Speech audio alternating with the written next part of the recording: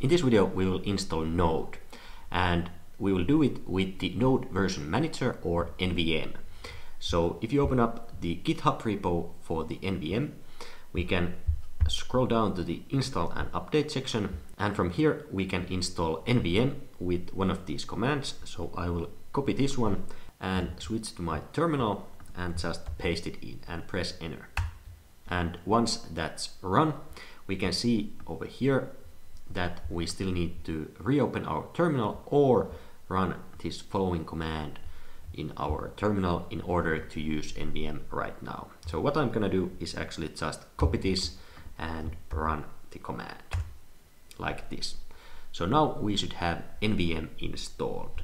We can check it by running nvm-v and we get the version number as an output. So now it's important to understand that we only installed the NVM, the Node version manager, and we still need to install Node. So if we now run node-v, we can see that Node is not found. So let me just briefly explain what this NVM is. So with NVM, you can actually install any version of Node with just one command. And you can then use NVM to switch between those Node versions inside your terminal or in your computer. So for example, if you wanted to try out some earlier version of Node, you don't have to uninstall your current version and then download and install the Node version you want to install. But you can just run one command with NVM and that's it. Uh, NVM does all the heavy lifting for you. So how can we then use NVM to install Node? Well, let's switch back to the browser and to the documentation. So right here we installed the NVM. And one thing I should note here is they actually say it over here also that uh, if you're getting some uh, error saying that command not found or something like that, you actually need to have this one of these files uh, located in your home folder, depending on what prompt you are using. And that's because, as they say over here, uh, the script clones the nvm repo to the uh, home folder, to the .nvm folder, and then attempts to add the source lines from the snippet below to the correct profile file. So uh, this install script tries to add this uh, snippet to one of these uh, profile files and if they doesn't exist uh, it will fail.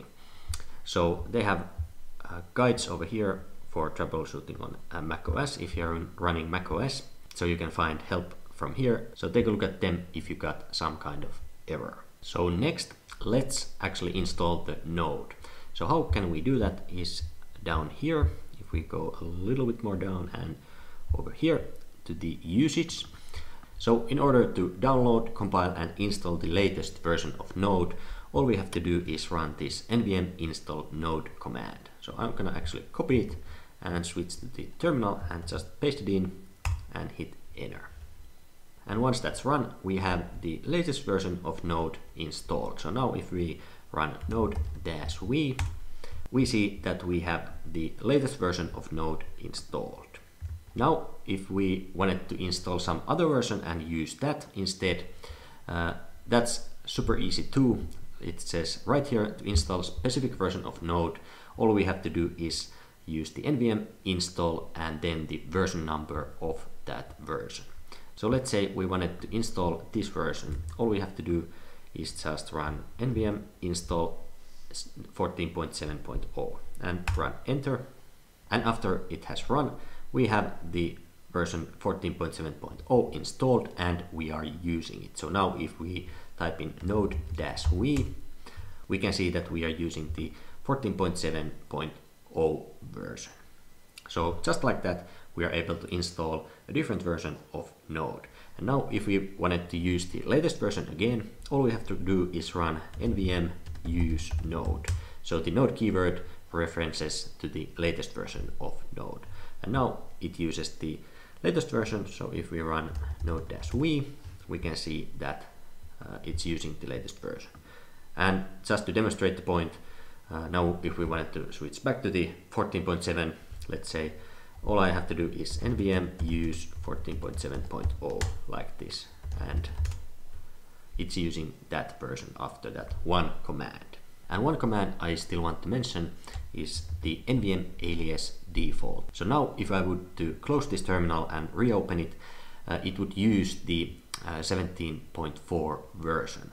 But with this command, we can set the default version that we want to use. So let's say we wanted to use the 14.7.0 as a default version. So whenever we open up a new terminal or whenever we run a new program, it would uh, use that version. So all we have to do is type in the nvm alias default and then the version number we want to set as the default like this. And now if we run enter, we can see that the default version was set to 14.7.0. So that's how you use NVM to install Node and change between different versions super easily.